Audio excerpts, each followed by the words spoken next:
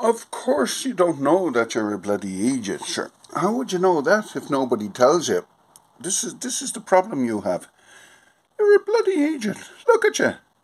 Did you look at the head on that? You're meant not meant to let the uh, the pointy the pointy part is meant to fall down, and that's where the Moroccans in the blad they put their khubza and the food that they bring with them when they're going out on for the day if they're going to work or whatnot, and they uh, they put their khubza and uh, whatever bottle of water or whatever in the hut.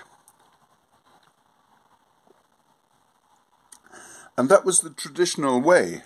And that's why the hood was invented because the hood isn't there for uh, isn't there for any other reason. And then what they do is they would put this bag uh, on their over their shoulder. You see?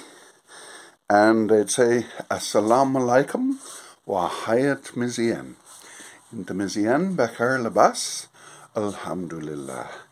Le, le dar mizien, le hawli mizien, el kibsh mizien, el storm mizien.